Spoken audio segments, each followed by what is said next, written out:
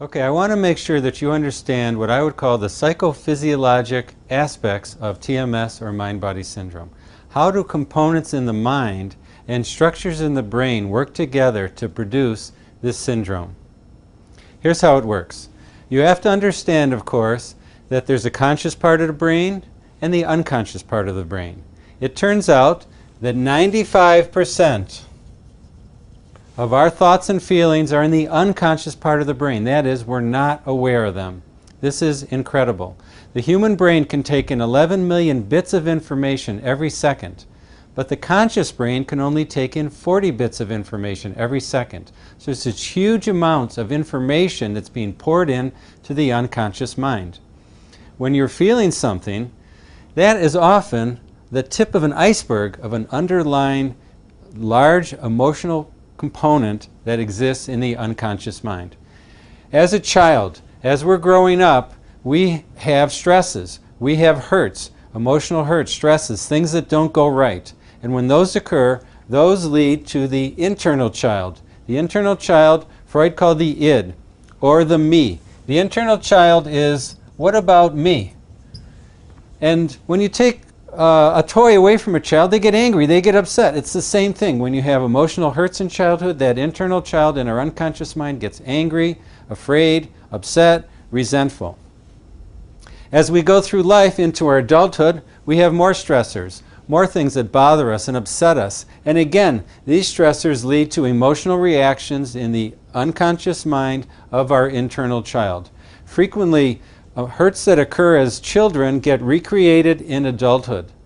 A young a woman that I saw had uh, a father who would yell at her a lot in childhood, yelled at her, screamed at her. That emotional hurt lived on in her unconscious mind.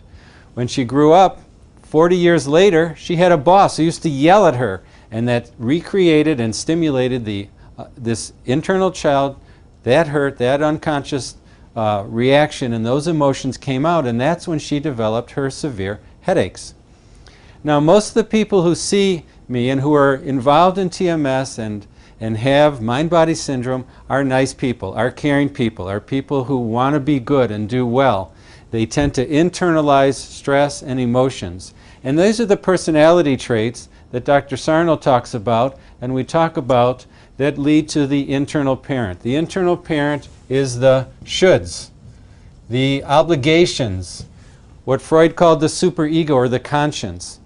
People with mind body syndrome often have very strong internal parents. They want to be good, they want to be liked, they tend to blame themselves, they're perfectionistic, they have high expectations of themselves, they try hard, and they're caring, and they care what other people think of them. This is one of the reasons why more women have mind body syndrome than do men. 90% of the people with fibromyalgia are women.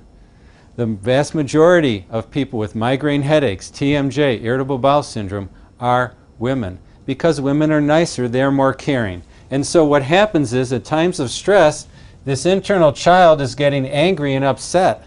And the internal parent is saying, no, calm down, don't rock the boat.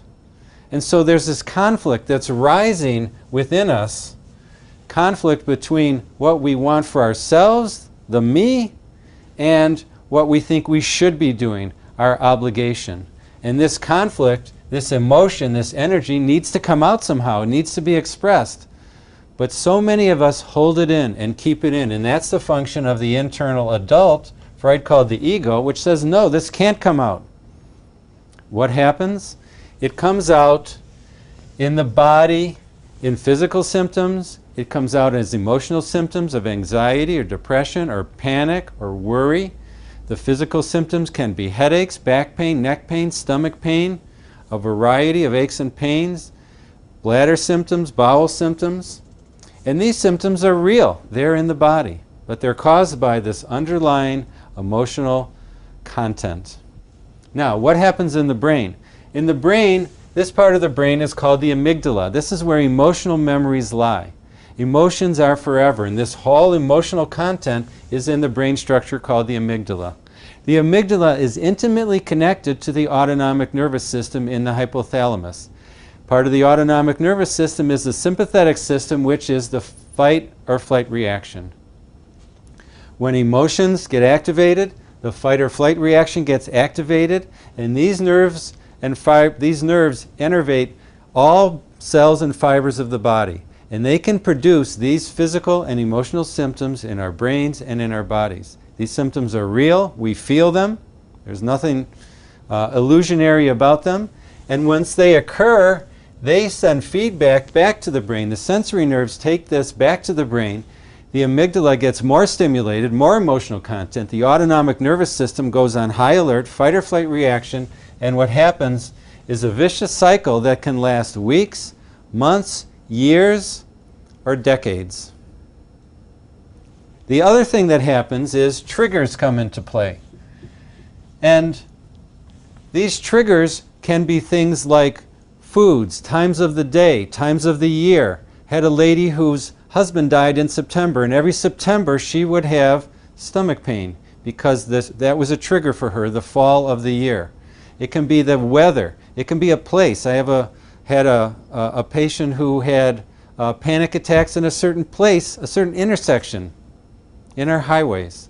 And so these triggers are very real, and they're really like Pavlov and his dogs. Pavlov gave his dogs food and he rang a bell. And pretty soon, he just rang the bell, and the dogs had the physical reaction of salivation. Part of the mind body program, part of getting yourself better, is to recognize the triggers that are feeding into these real physical and emotional symptoms and getting rid of them.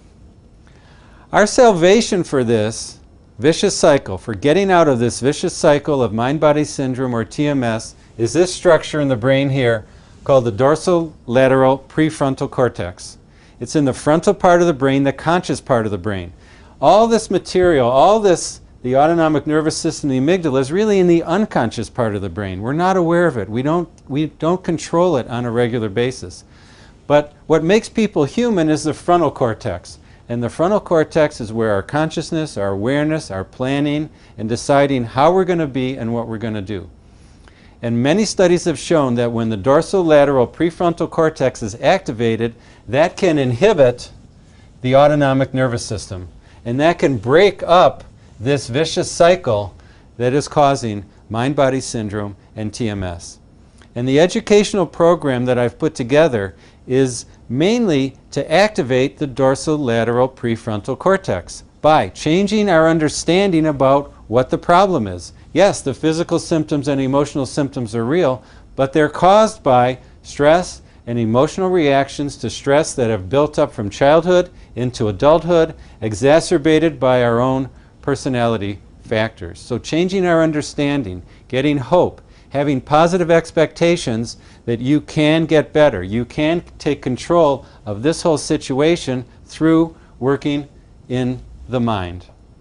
And then the writing exercises, the meditations, the self affirmations, the talking to ourselves, and improving our lives can make huge differences in this whole process. It doesn't mean you're not going to be human. It doesn't mean you're not going to have emotions and reactions. We all will continue to have those. But what we need to do is break the link between the emotional reactions and the physical and emotional symptoms that have occurred.